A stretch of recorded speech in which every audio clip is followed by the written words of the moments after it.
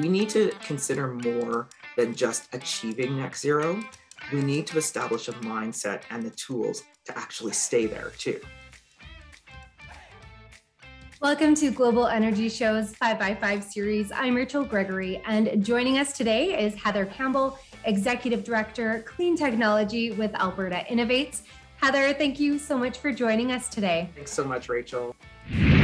Heather, what are the most important current clean technology trends? Well, the first I would talk about is BBC, or bitumen beyond combustion. BBC creates low cost carbon fiber. It diverts bitumen from being combusted where 80% of the life cycle emissions really are. It's 52% less uh, GHG intensive than current carbon fiber manufacturing, and the low cost enables a market end use in lighter vehicles, making them more energy efficient and creating longer lasting infrastructure. The next one is CCUS, carbon capture, utilization, and sequestration. Canada's oil and gas sector is Canada's largest emitting sector, accounting for about 26% of Canada's emissions. So without further actions, emissions from the oil and gas sector are projected to increase. Globally, consumers, businesses, investors are increasingly giving preference to cleaner fuels and investments.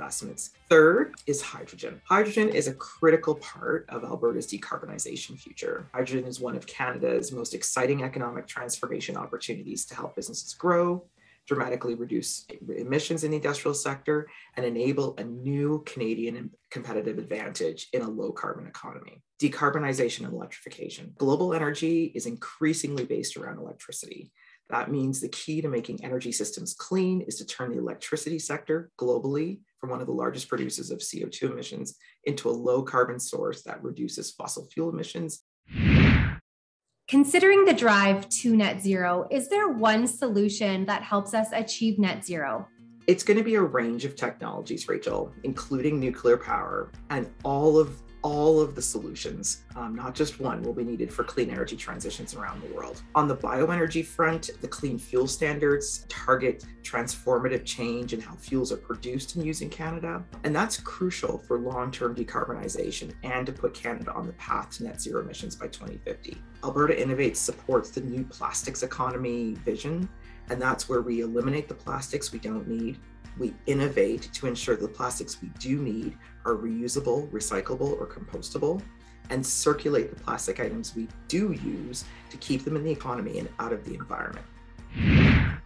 What role does clean technology have in ESG management? ESG, environment, social, and governance. Clean technology, at the end of the day, really addresses sustainability while creating opportunity for economic diversification in Alberta. We need to consider more than just achieving net zero.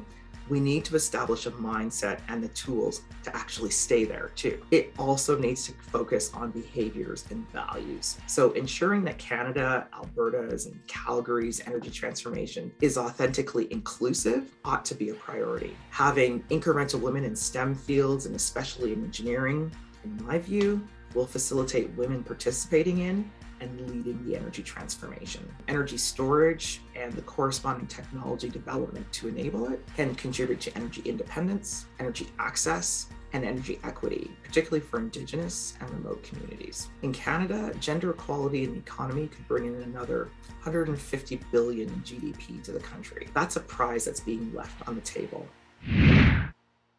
Tell us about Alberta's performance in clean technology. Alberta Innovates has continuous intake funding and a clean technology program, which I lead.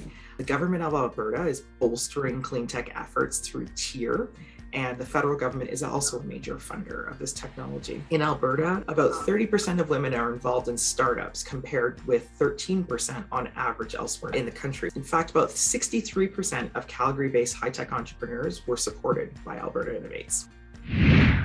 What's missing in the clean technology innovation ecosystem? Innovation needs to extend beyond the tangible technology. In Alberta, we're trying to use the concept of an innovation sandbox or safe space where you collaborate together in a space to succeed or fail for the technology, the business model, and the regulatory framework together that's not punitive. For us, the starting point for that is the Alberta Smart Grid Consortium. Realistically, we need to work actively on big picture cooperation clean technology just doesn't flourish jurisdictionally. Broad cooperation is needed. Thank you so much, Heather. It was so lovely chatting with you today and getting your perspective on clean technology. Rod and Rachel, be well. And thank you for watching Global Energy Show's 5x5 series. Make sure to like this video, share it to your networks, and subscribe to Global Energy Show's YouTube channel. We'll see you next time.